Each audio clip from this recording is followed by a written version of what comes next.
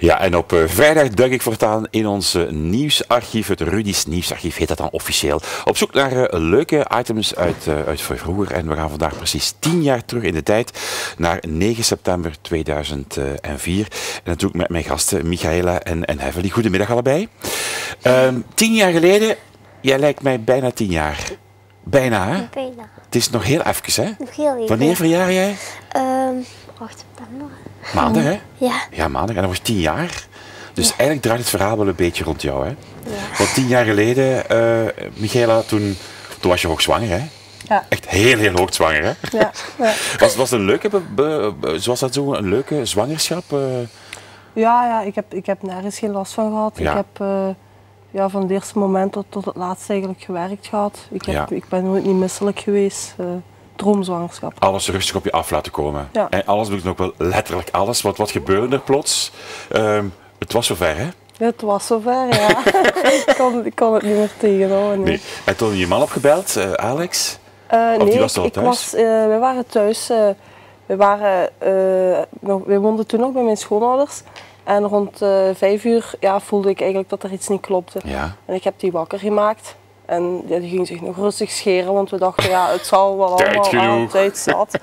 Maar uh, ja, helaas, in, Ja. in Zonhoven wist ik eigenlijk dat het fout zat. Ja, en toen gebeurde er iets heel bijzonders. Uh, ja, uh, ze, de bevalling, ze waren heel snel naar het ziekenhuis gegaan, maar ze hebben het ziekenhuis niet meer gehaald. En dat verhaal zat tien jaar geleden in ons nieuws. We gaan nog eens kijken. De kleine Heavenly, amper één dag oud en nu al een beetje beroemd. Want terwijl de meeste baby's in het ziekenhuis of thuis geboren worden, doet Heavenly dit op de Kanaalbrug in Hasselt. Uh, om 20 voor 6 is mijn water gebroken. En toen heb ik mijn man wakker gemaakt. Om 5 na 6 uur zijn we vertrokken. En in Zonhoven begon dat feller te worden, de ween en zo. Toen zei ik tegen hem van dat hij zich moest spoeien. Hoewel Alex erg zijn best deed om op tijd in het ziekenhuis te geraken, waren ze toch net te laat. Ze zei hier nog altijd sneller, sneller, terwijl ze eigenlijk van Zonhoven bezig was. En je probeert dat dan wel en je doet wel je best, maar ja, er staan veel lichten, veel flitspalen, je moet toch een beetje opletten. En dus werd dochtertje Heavenly onderweg in de auto geboren. Net op het moment dat Alex over de brug van het Albertkanaal in Hasselt reed. Dit is een zeer zeldzame gebeurtenis, zegt dokter Van Steeland van het Salvator ziekenhuis. Meestal hebben ze zoveel pijn op voorhand dat ze lang voordat ze moeten bevallen toch op tijd in het ziekenhuis geraken. Het is uiterst uitzonderlijk dat iemand niet op tijd komt. Voor de ouders zal de Kanaalbrug alleszins een bijzondere plaats blijven.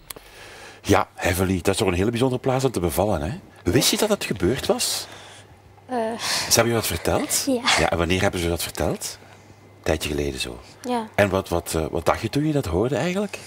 ja. Ik dacht eerst dat dat niet waar was. Je geloofde ze niet. en toen? Ja, toen bleef het verhaal me voorkomen en toen begon ik er wel te geloven toen ik de krant zag. Ja, want je hebt dit ook nog nooit gezien. Eigenlijk. Het is het eerste dat je het fragmentje ook ziet, hè? Ja. ja.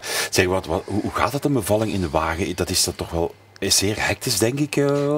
Nee, nee, in Nee. tegendeel. Iedereen die vraagt mij dat. Maar eigenlijk waren wij, al ja, waren wij heel kalm. Ehm, Alex reed. Ik, ik, eigenlijk waren wij ja, nog ruzie aan het maken over de flitspalen. Want ik zei, rijd door. En hij zei, dat kan niet. En, en ja, ik, ik voelde eigenlijk dat ik moest stuwen. Ja, En ja, in één keer was ze daar. En eigenlijk ben ik heel, heel kalm gebleven. Ja. ja, dat is het belangrijkste eigenlijk. Hè. En uh, als je nu terugdenkt, hoe, hoe, hoe denk je nu terug, zo tien jaar later? Zo? Goh, ja. Toch bijzonder, hè? Het is, het is speciaal. Ik kom daar ja, wekelijks. Nog voorbij. En dan ja, over de brug. En Ja. dan denk ik iedere keer van ja. Hier is, dat hier is ze geboren eigenlijk. Ja. Ja. Heb je dat ook soms als je over de brug rijdt, zo van hier, dat is, dat is het stukje van mij zo? Ja. Ja, hè? ja. heel bijzonder ja, eigenlijk. vooral als we aan die kant rijden. Zo. Ja. zeg, ehm, eh, wat voor een baby was ze eigenlijk? Want ze was een prachtige baby. Je bent ook een mooi meisje nu, maar ze was echt, kijk hier, een prachtige baby. Hè? Heel veel haar. Ja. We zeggen altijd eh, onze kleine mosjesje. Inderdaad. en Heavenly, waar komt de naam vandaan eigenlijk? Oh, dat is een, een geving van mijn echtgenoot. Ja. Ja. Op de brug, op, op de kanaalbrug of uh, daarvoor al? Nee, daarvoor al. Ja. Daarvoor al, ja. Ja, zeg, je hebt, uh, je hebt nog een, een zoon, uh, Angel, Ja. hè, dus een, een mooi gezinnetje eigenlijk. Hè. Uh, weet hij dan, wist hij dat, dat zij geboren was op de brug? Uh, ja, hij is twee jaar ouder. Uh, ik denk toen we het eerste keer echt zo verteld hebben dat hij dat begreep dat hij een jaar of zes, zeven Ja, was. ja. En ja, hij zei van, ja, en ik heb niet zo'n belangstelling gestaan. Hoe breng je zoiets aan? Hoe vertel je zoiets eigenlijk? Eh, Op, welk moment kies je daar dan voor? Ehm, ik denk dat, ik, eh, dat dat op een avond was, dat zij een jaar of, of zes, zeven was, dat Ja. we haar dat verteld hebben. Maar ik weet ook nog de dag dat ze na, na- voor de eerste keer naar school ging, Ja, dat eh, ja, de buurt eigenlijk ja, waren aan het wachten op het kindje van de brug, Ja. voor die eens uit te zien en zo. En ja, dus eigenlijk is dat wel, ik denk dat ze daar wel ja, van kleins af aan mee is opgegroeid. Ja, dat ja. eh, in onze buurt iedereen had het ja, het kindje van de brug, dat is mooi hè. Dat zal je voor altijd blijven, toch leuk hè. Zeg, de eerste schooldag, de eerste schoolweek is al voorbij. Waar ga je naar school Heavenly? Eh, de Biekers in Hotel Ja, Helgstraat. en welk studiejaar zit je nu? Vijfde. Vijf jaar. Fijne school?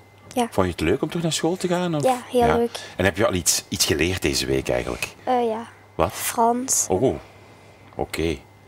Hoe is brug in het Frans? Eh, dat weet ik niet, dat hebben we nog niet Dat is. Pont, onthoud dat maar. Hè? Meisje van de Pont, hè, van Alstenbrug. Ja, oké. Ik vond het heel fijn dat jullie hier waren.